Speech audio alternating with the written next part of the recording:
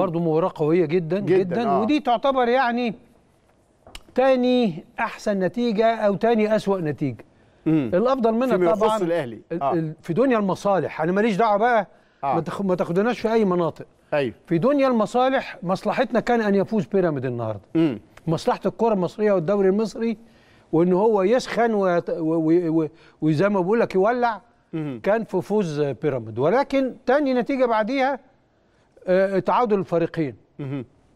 الأهلي وهو الأقل اداء في كل الجدول ده.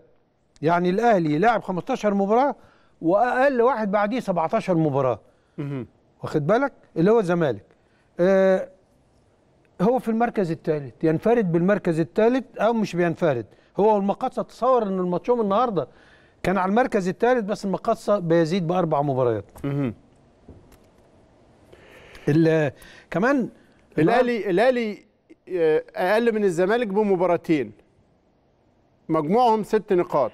الأهلي بيقل عن الزمالك ب 12 نقطة دلوقتي 42 ل 30 الأ- بيراميدز الأهلي أقل من بيراميدز خمس مباريات وأقل منه بتسع نقاط. فوز الأهلي في المباراتين المتبقيتين يخليه يقترب أكتر شوية لكنه عدد المباريات بينه وبين بيراميدز هو ده اللي ممكن يديله فرصة كبيرة إن شاء الله إنه يتقدم لأنه الفارق بينه وبين بيراميدز خمس مباريات. آه لسه في كتير وأنا لا أعتقد دوري قوي جدا جدا.